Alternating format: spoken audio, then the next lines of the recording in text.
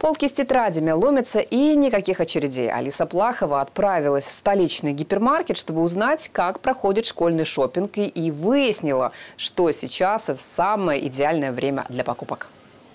Вот такие есть, вот эти и вот такие тоже. От аниме и котиков на обложке до всем знакомых с прописью. Полки с тетрадями ломятся от изобилия. В отделе констоваров все спокойно.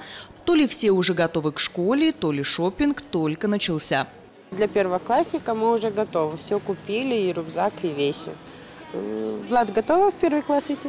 Да. Да. Хочешь в школу? Да.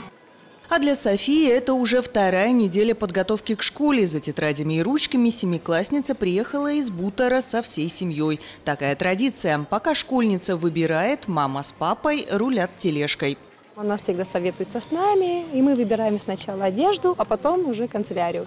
На последние дни не оставляем, потому что, чтобы все было готово по полочке, школа же это серьезная.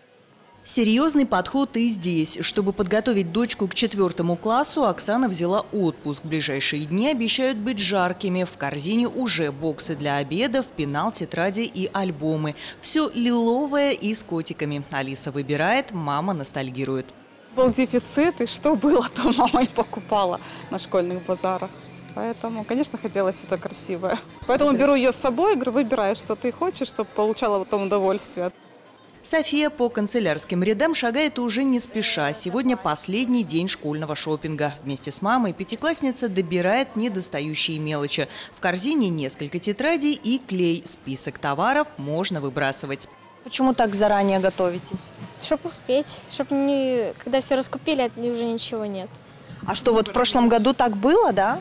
Ну да, раскупали, как бы приходишь уже, того нет, этого нет уже. Вот, приходится брать то, что есть. А вот эти школьники уже готовы. Куплены и форма с ранцами, и тетради с ручками. В прошлом году Мария из Чобручей столкнулась с дефицитом. В последнюю неделю перед школой прилавки и полки почти опустили. Ну, в прошлом году тоже так пошли после 20-го, и тяжело было найти и обувь, и одежду. и Скупали все. А тетради, дневники, ручки? Все тоже купили. В школу хочешь, честно скажи?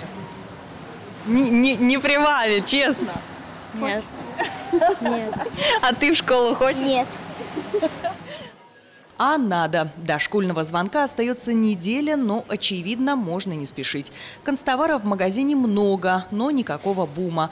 Для тех, кто все еще не готов, школьный шопинг в этом году будет без очередей. Алиса Плахова, Александр Зелинский, ТСВ.